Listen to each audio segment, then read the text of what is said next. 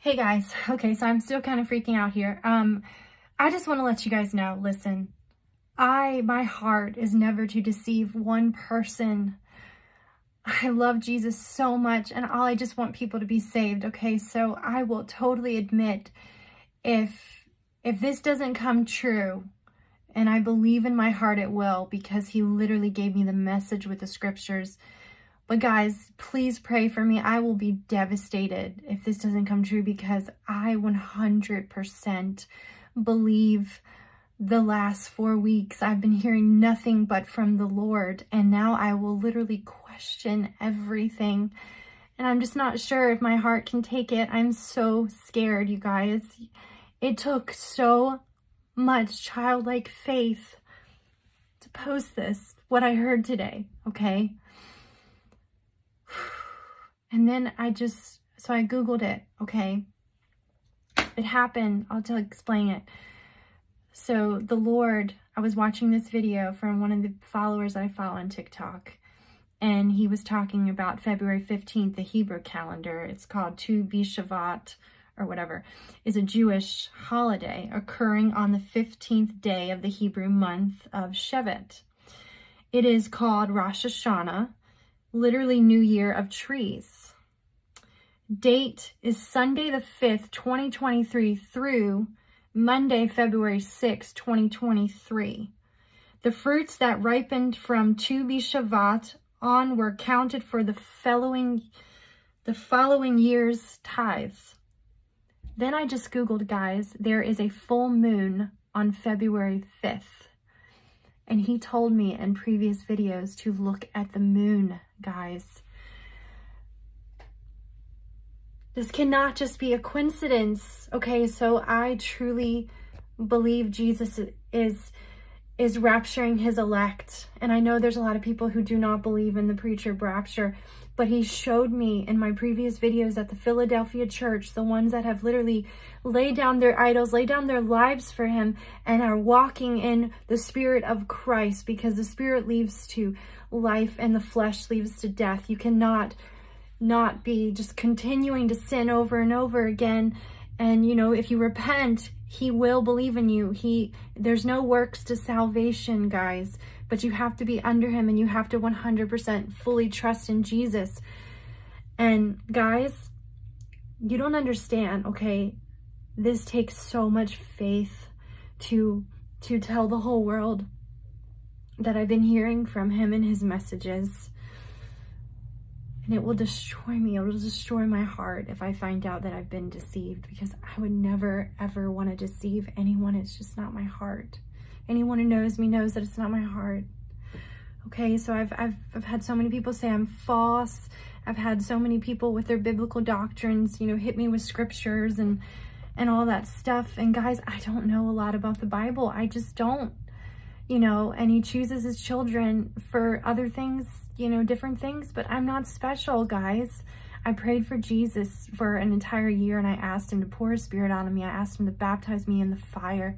I asked him to give me his will. I told him I'd lay down my life for him, country music, whatever he wanted me to do. And anyone who knows me, I've been singing since I was five years old and that's all I ever wanted to do was sing.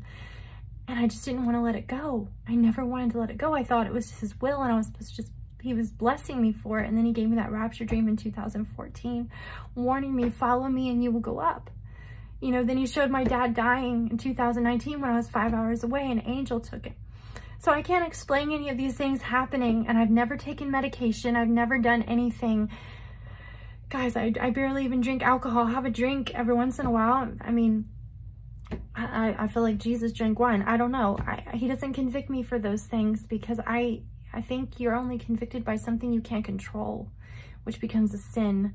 When the Holy Spirit's convicting you of something, then you need to do it. If he's convicting you the Sabbath day, then you need to do it. But he doesn't convict me for the Sabbath day, and he hasn't convicted me for my Christmas tree or, or anything like that. So there's no works to salvation.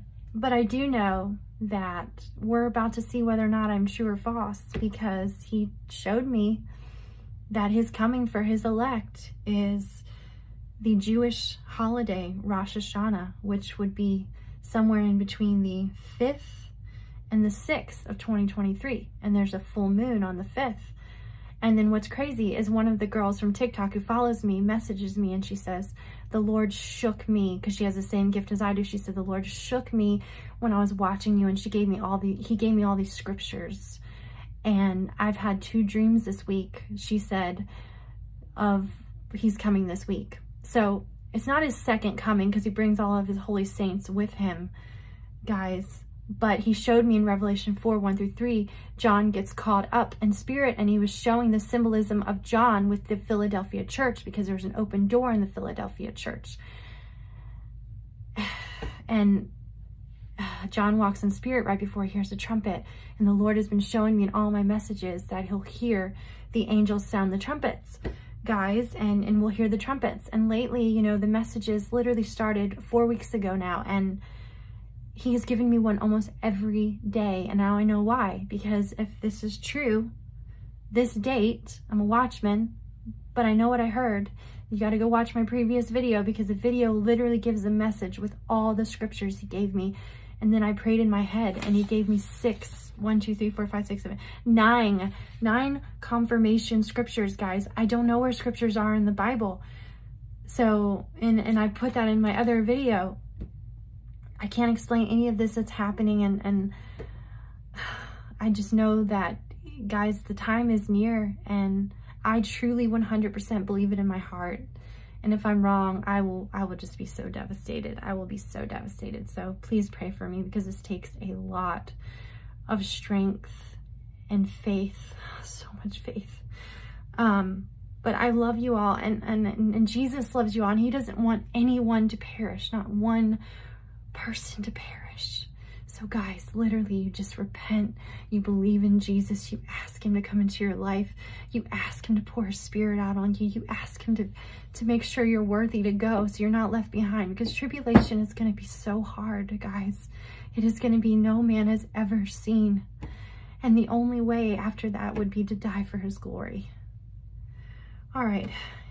Please, Holy Spirit people out there, pray on this someone give me some confirmation because I'm so nervous right now.